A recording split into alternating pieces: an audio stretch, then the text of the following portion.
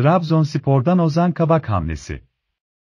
Süper Lig lideri Trabzonspor'da bir yandan yeni sezonun planlamaları da yapılıyor.